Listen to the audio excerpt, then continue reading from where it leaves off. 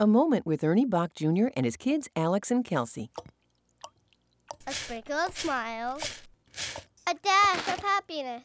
Mmm, that smells good. Delicioso! Cooking with friends is a recipe for happiness.